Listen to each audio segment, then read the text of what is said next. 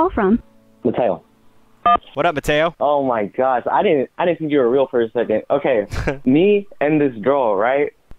We're like great friends, you know, for like since like eighth grade. Like, so yeah, I saw this girl. Oh my god, I was obsessed. She was she was great, you know, and like we got really close and stuff. I'm becoming a junior, but over the course of sophomore year, oh my gosh, dude, there was like so much like weird stuff that happened. Like I said, I liked her, but like I was like going through like self esteem issues.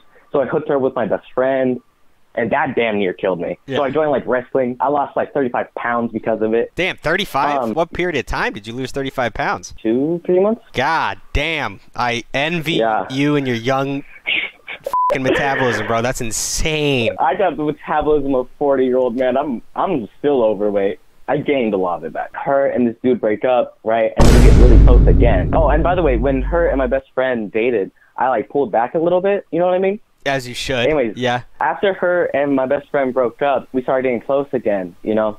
And it was like, I kept asking him if it's okay. So, like, you know, I'm not a bad person and stuff. And basically, what happened is it was winter ball. Time was coming up. We were on call every day, all day. We even found an app so we could, like, fall asleep on call and wake up and we'll still be on call. It was crazy.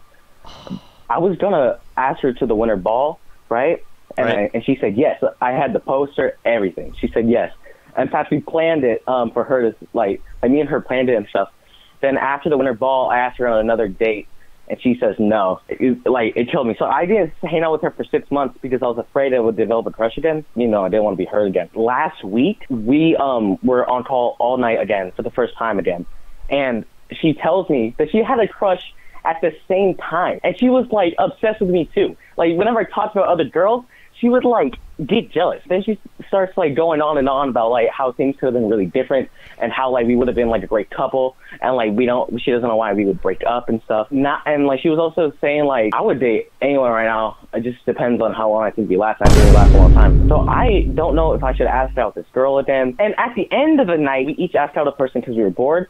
And I asked out um our mutual like best friend. Her name I can't say it, and she says yes. The reason why I asked her out because I thought she would say no. I'm not sure if I'm into the other girl too. You already have a date with the pretty girl that you're not that into. Go with her. If it doesn't work out, it's going to make this girl jealous, and you can go after her. But go after the one you already have a date with. If she's pretty and cool and you're figuring her out. That's what dating's about. Where should I go on this date? Father, I've never been on a date. I'm so nervous. Don't man. go to the- Oh my god. Don't go to the movies. Arcades Think are really it. fun. If there's an arcade, do that, because it doesn't matter. It's fun as All right, all All right. right. Bye, Father. Love Bless you. your heart. Have a good one.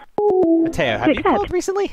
That name sounds familiar. Yeah, I called uh, last stream. The girl um that's like the mutual friend. I'm pretty sure it's still like we're just friends. So I asked out the other girl and she said yes. So now we have a date next week. Okay, pimp. Yeah. All right. Good. Yeah. Congratulations. I wanted to call you and um and say I know why you're just like a priest because you make miracles happen, Father. Thank you very much, man.